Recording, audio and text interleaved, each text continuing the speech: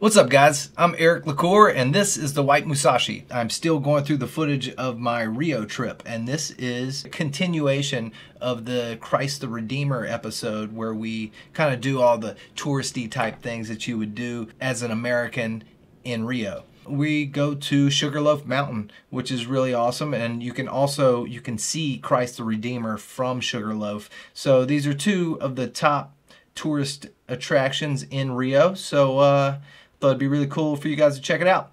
And I'll be shooting, of course, one of the themes here is photography. And my favorite camera right now, especially for traveling, is the X100F by Fujifilm. Uh, let me grab it. This is it. You know, I, I still love this camera. Uh, I've might have had it right at a year right now. I just love how it works. It works like a film camera, but you get amazing uh, film profiles in it as well. So you're shooting digitally, but you're gonna have film profiles that give you this the look of the different types of film that Fujifilm is known for. So really good stuff. Check it out. Hope you enjoy it. Don't forget to like, subscribe, hit the bell, all those things.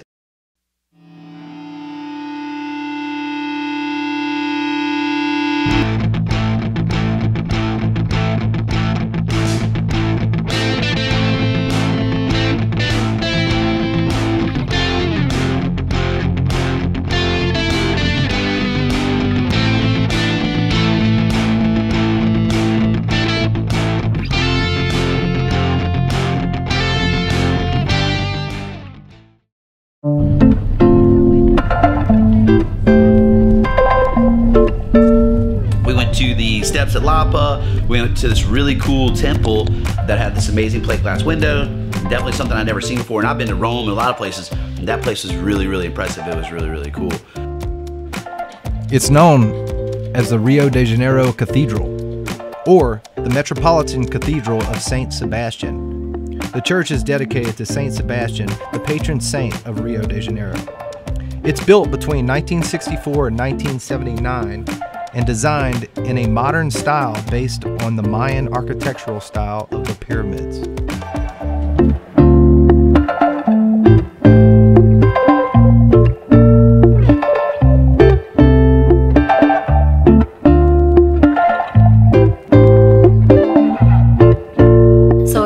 Steps that are in Lapa. And that is where like all of these uh, steps leading up into the neighborhood are tiled with red tiles. And some of them are um, just like artistic tiles that people have put in. So, and we actually found one from Louisiana and there, I think there was one for every state in there. So yeah, um, Josh got a video of, of the Louisiana tile. Yeah, it was pretty cool. Yeah, it was very neat.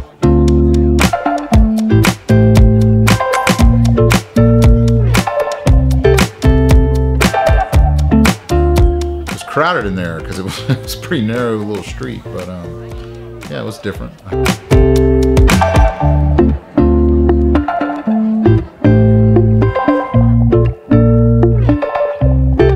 If you looked up on the power line, I saw a monkey walking across the power line. And then some dude came up and started playing the flute. And he started, it wasn't just playing the flute, he was beatboxing and playing the flute.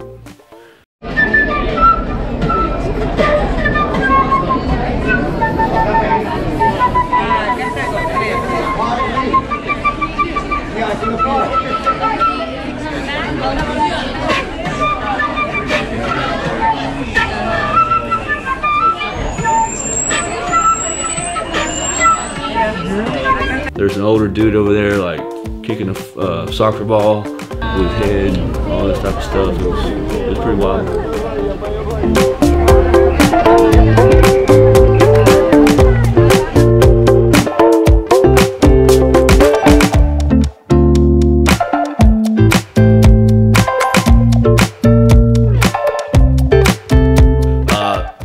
We ended with the Sugarloaf Mountain, which in my opinion, the two biggest attractions are Christ Redeemer and Sugarloaf, which interesting enough, you can you get a great view, the best view of each of them from the other one. So that's really neat, you know? So we started with Christ Redeemer, we ended with... Sugarloaf, I, I enjoyed a lot. I, uh, I thought the cable car was, I was surprised at how quick it was.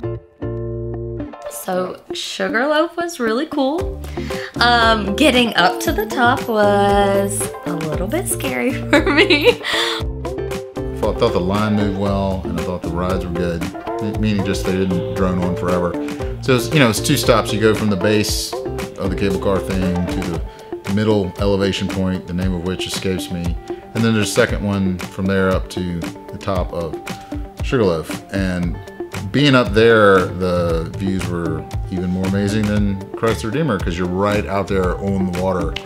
You really felt like you got a 360 degree view of Rio from, from up there. It was it was it was worth the worth the trip. I would like to do it again and go at night because um, I'd just like to see what the city looks like all lit up from up there. So that's one that's one thing still on the bucket list. But uh, but I'm glad we went in the day too, just so you could actually see, you know, to the horizon. But I'd like to go back and do it at night. All right, we just finished the tour of the city. Now it's time for a power nap.